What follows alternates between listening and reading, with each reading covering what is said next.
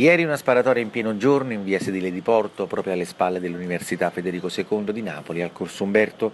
Questa mattina a pochi chilometri di distanza, in via Pietro Colletta, gli agenti della Questura di Napoli sono intervenuti perché ignoti hanno esploso diversi colpi di pistola contro una macchina parcheggiata in strada. Sei proiettili calibro 9 sparati tutti all'indirizzo della stessa vettura di proprietà di una donna, titolare di un'agenzia di viaggi e residente nelle vicinanze, incensurata e senza legami con la criminalità organizzata. Un errore l'obiettivo del raid, secondo la polizia intervenuta sul posto. Resta comunque la gravità dell'episodio e la paura tra i residenti per l'ennesima sparatoria che a tutti i tratti di un'intimidazione. Il ripetersi di questi episodi ha messo in allarme le forze dell'ordine napoletane che stanno intensificando i controlli in tutto il centro storico. L'ultimo raid armato era avvenuto poche settimane fa, sempre a due passi da Forcella, quartiere da tempo rinomato per la presenza di clan della Camorra che si contendono il controllo delle attività illegali della zona.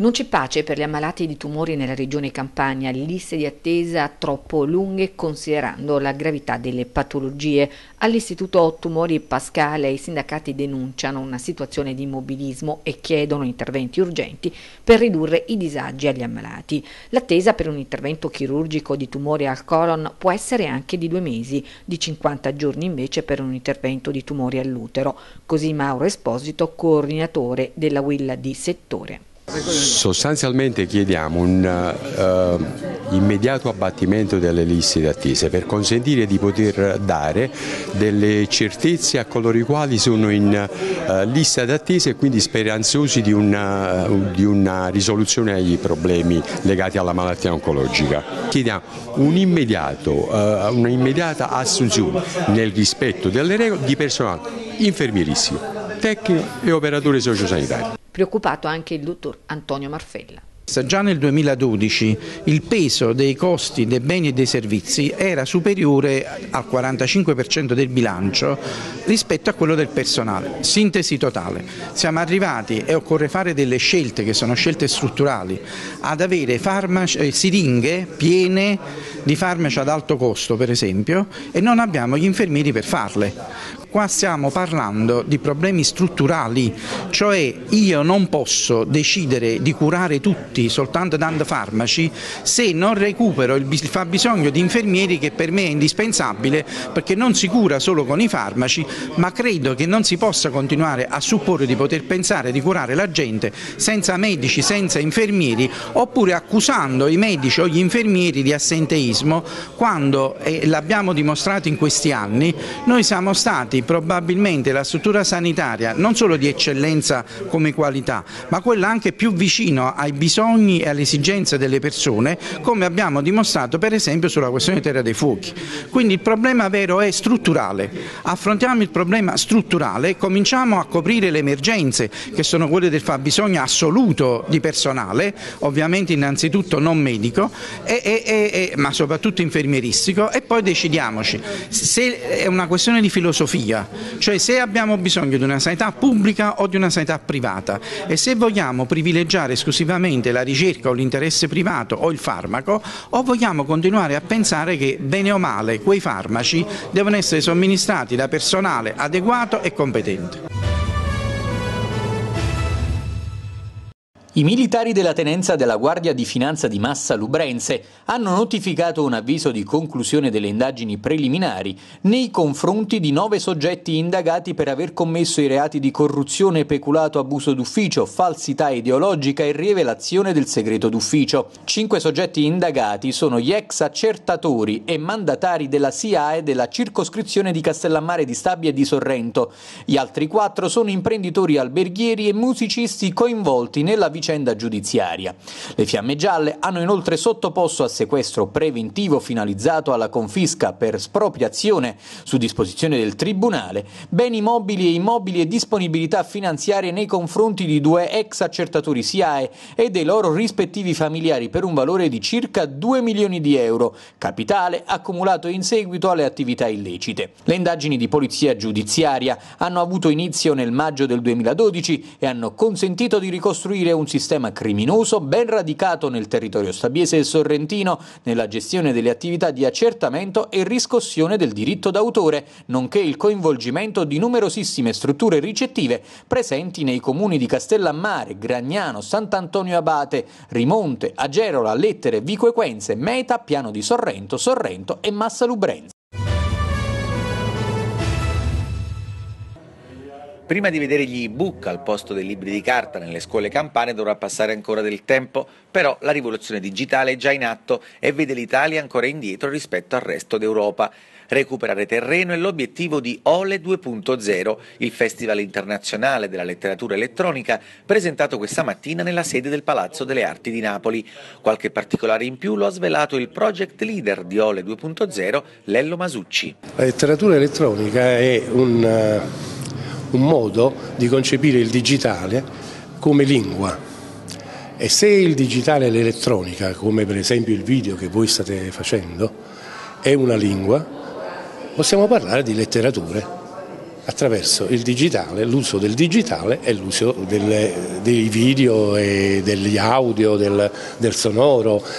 Questo, questo modo di pensare ha prodotto nel mondo una serie di poeti digitali, poeti elettronici, eh, scrittori che hanno scritto dei libri che improvvisamente diventano film, poi diventano eh, uno spazio vivibile fisicamente, eh, con la realtà aumentata. Insomma, questo è, in parole povere, la letteratura elettronica.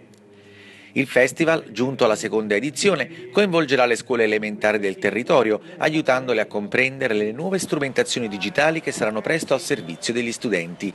L'assessora alla cultura della Regione Campania, Caterina Miraglia, spiega come il governo locale ha operato in questo settore negli ultimi cinque anni. La scuola si è fatto tantissimo, per la scuola sono state spesi molte risorse eh, proprio perché la scuola potesse essere più moderna e anche digitalizzata. Ehm, non vorrei tornare all'elencazione di tutte quelle che sono state le azioni, ma sicuramente sono stati spesi più di 400 milioni per dare alle scuole, dalle LIM, dalle lavagne, alle, diciamo, tutti gli strumenti necessari, ma prima tra tutti poi è stata la grande operazione della banda larga che è stata fatta dalla Regione Campania. Quindi in questo senso, anche se non viene riconosciuto, la Campania è avanti, è sempre poco rispetto al mondo che va avanti, ma è, è tanto rispetto ad un'Italia che eh, declina competenze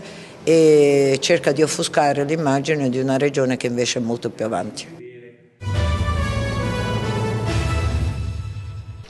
L'Associazione Musicale Maggio della Musica, presieduta da Luigia Baratti, ha presentato la diciottesima stagione concertistica. Il programma per la direzione artistica di Michele Campanella propone 18 concerti divisi in due sessioni. Quella primaverile, per la prima volta al Salone Margherita, lo storico Caffè Chantan napoletano, che per l'occasione diventa un concerto house e quella autunnale presso la chiesa anglicana del capoluogo campano. Una bellissima stagione che ha questa nuova sede eh, non so se sarà provvisoria, non, non, questo non, non, mi riguarda, ma voglio solo dire che è un luogo che affascina il pubblico. Dalle prime reazioni che io ho avuto la gente è molto interessata a venirci. Devo dire che siamo noi che siamo molto curiosi di capire se questa sala funziona per la musica classica, che è una novità per questa sala. Le novità di quest'anno sono l'inizio del Festival Brahms che eh, farà ascoltare al pubblico napoletano tutta la musica da camera scritta da Johannes Brahms, con la partecipazione del grande quartetto della Scala e con tutti gli altri musicisti di scuola napoletana, una cosa tutta italiana a cui io tengo molto perché eh, suonare Brahms, eh, suonare la musica alle camere di Brahms è uno degli impegni più difficili e più importanti per i musicisti.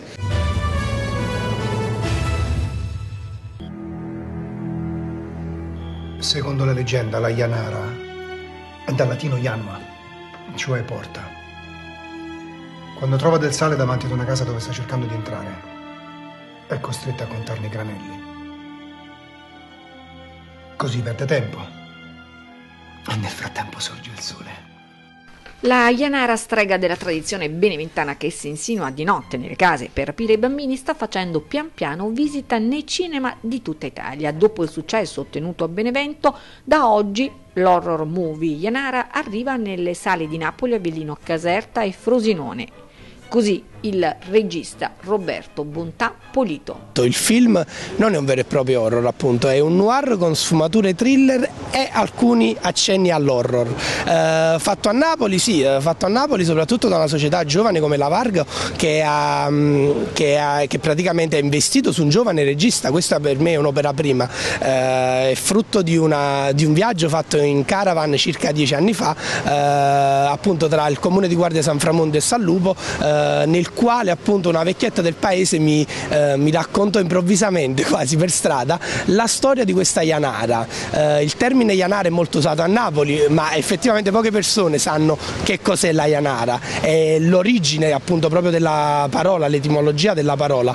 E questo è stato, il, è stato, il, motivo per il quale poi ho deciso appunto di prendere questa storia che è tratta da, dalla mia vita personale e, e cercarla di, di, farla, di farla andare sul grande schermo grazie all'aiuto della Vargo Film e, e di tutto il cast tecnico e artistico che ha contribuito al progetto. Interprete una grande Rosaria De Cicco. Secondo me questo film eh, realizza la possibilità, cioè fa capire che anche in Italia è possibile eh, dei, mh, mm, eh, affrontare dei temi noir e horror in maniera però non immaginifica o più, tra virgolette, dico finta come possono farlo in America. In America hanno tanti mezzi e hanno la possibilità di fare le streghe, eccetera, eccetera. Però noi abbiamo i luoghi, abbiamo le tradizioni, abbiamo la verità sui, sui misteri. Per cui questa cosa non ce la può togliere nessuno e nel momento in cui si trovano registi e produttori coraggiosi che affrontano questo argomento anche con pochi mezzi, insomma non abbiamo i mezzi dei colossal, ma riescono a rendere quell'atmosfera. Ebbene, secondo me è una sfida che non soltanto una produzione ma anche un attore ben lieto di accettare partecipando ad un'operazione del genere.